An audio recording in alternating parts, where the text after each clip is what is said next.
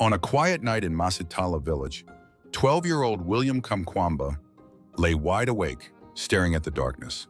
William didn't see the darkness as a barrier, he saw it as a challenge. Life in Masitala was both simple and hard. William's family farmed maize and tobacco, working tirelessly to survive.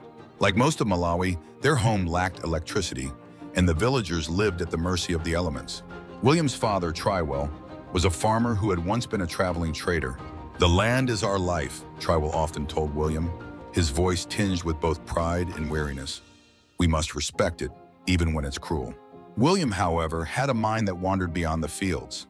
With his cousin Jeffrey and his best friend Gilbert, he spent his free time tinkering with broken radios. William, Jeffrey teased, holding up a twisted wire, do you really think you can fix this junk? William grinned. Of course, and maybe next I'll build something even bigger. In December 2000, disaster struck. Torrential rains led to massive flooding. Crops withered and famine gripped the land. Families, including Williams, began eating just one meal a day. Papa? William began hesitantly. What if there's a way to make things better? To bring water to the fields even when the rain doesn't come?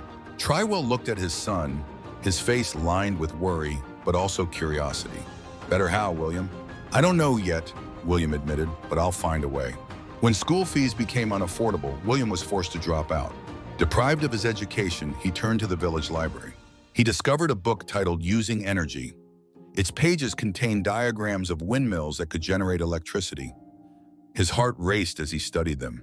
I can build this, he told Jeffrey one afternoon holding up the book. Jeffrey raised an eyebrow. A windmill? William, people will think you've gone mad. Let them think what they want, William replied firmly. I'll show them it can work.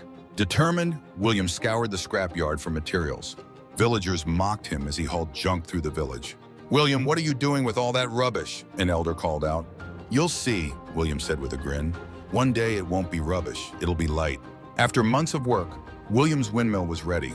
With the help of Jeffrey and Gilbert, he built a 16-foot tall tower. As the windmill rose, a crowd gathered, some laughing, others curious. William, are you sure this will work? Gilbert asked nervously. It has to, William replied, gripping the wooden ladder. If we don't try, nothing will ever change.